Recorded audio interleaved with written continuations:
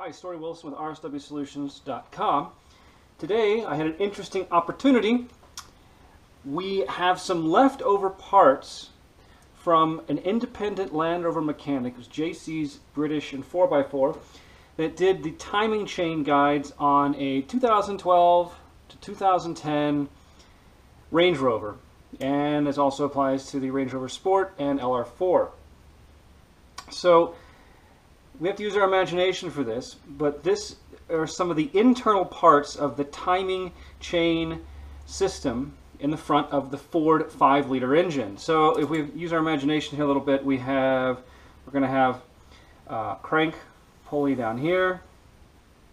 It's going to have some teeth on it inside timing chain cover, and then we're going to have some chains going up, up to the valve train.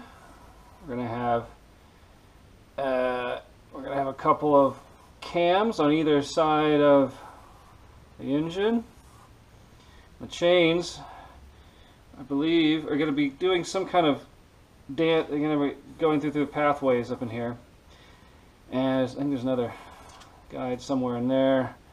But basically, the chains will ride on these guides. And as the engine rotates, these guides are pivoting and they're being pushed into the chains to hold tension. And they're being pushed with these tensioners. These tensioners um, are driven by oil pressure and um, they push the guides into timing chains. Now, this is a really interesting look into the failure inside the Ford 5-liter engine. We have a steel surface on the timing chain tensioner against an aluminum surface on the timing chain guides. And what happens is, over time, this tensioner, in its, in its effort, in its job, which is pushing against, let's go ahead and take this out, it's pushing against this guide, constantly pushing. And over time, what's happened is it's actually worn itself into the timing chain guide surface. Now, I was told this, this surface is flush, it's flat when new, and so all of this wear right here has been accumulated just with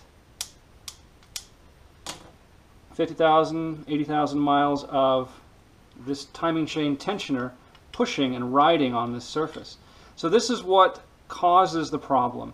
This interface that wears, um, what's happened, what we believe has happened, is this extra two millimeters or so of, of wear uh, is uh, pushed this system beyond its tolerance. So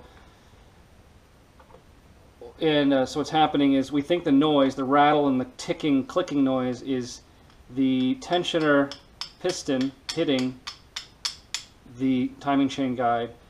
You can imagine as there's momentum in this chain rotating around at idle, you know, 800 RPM, that there's going to be some bounce in the guide. And we think what's happening is that it's leaving contact with the piston and coming back and, and slapping it. But this wear is what happens with the stock timing chain guides. It happened on both guides. And the new guides, I, I, didn't see a new guide, but I was told that the new guides have a, uh, like this area is machined out and there is an insert with like a bearing, a steel bearing that provides a more adequate surface. And they also said that this tensioner is angled a little bit more to accommodate, maybe the thrust angle is off a little bit. But really, quite an extensive wear pattern, steel versus aluminum. So this is what's going on inside the Ford 5-liter engine on the timing chain guides and why they need to be replaced at around 50,000 miles. So the symptoms again, you have a rattle, a click, or a ticking noise from the front of the engine on the Ford 5 liters. And it's typically on cold startup and on idle you'll get the noise. Now, on some vehicles, in this vehicle in particular, which I find even more interesting, this vehicle, the Land Rover technicians, uh, the, uh, the technicians at JC's British and 4x4 said that the noise was not always apparent. It, the vehicle came in hot, wouldn't make the noise. That's understandable. vehicle cold on cold startup, you'd hear the noise, and sometimes you wouldn't. Sometimes you even hear the noise on a drive cycle when out driving and sitting at like a stoplight or stop sign. So very peculiar. I don't quite understand at this point how this kind of wear pattern would, would create a circumstance where the rattle would present itself for a period of time and then later in the drive cycle would disappear and then come back again and disappear and come back again. I'm not sure I understand, you know, I understand this is a problem. I just don't understand how it could be that this uh, damage here, this interface, would cause an intermittent problem, a problem that would not always be present, and sometimes would be much worse than others. So if you have any ideas on that, please leave something in the comments. I'm curious as to why the problem wouldn't just be constantly there or constantly not. More of a binary problem, just always on or always off. But uh, let me know in the comments. Anyway, we're going to delve further into this uh, problem. Mine will require repair soon. Um, further discussion with JC's British and 4x4. There's absolutely no way I can do this job myself in my own garage. I'd be extraordinarily surprised if I can pull it off.